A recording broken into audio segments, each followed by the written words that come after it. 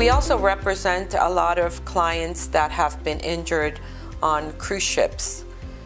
It is very important to understand that if you were injured on a cruise ship that you can be represented in the state of Florida regardless of whether you live in the state of Florida or not. The cruise ship who is responsible for the accident, for example Carnival, Royal Caribbean, Norwegian Cruise, they are established in the state of Florida. So in case of any injuries that you sustained and you live outside of the Flor- outside of the state of Florida, we can represent you here. Also, it's very important that passengers on cruise ships understand that per their agreement on their ticket that they have 1 year from the time of the accident to pursue any claims against the cruise ship.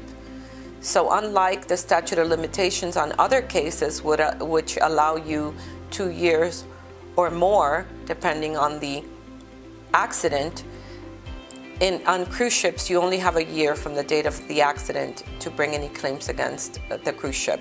So, it's very important that passengers understand that and adhere to that statute of limitation.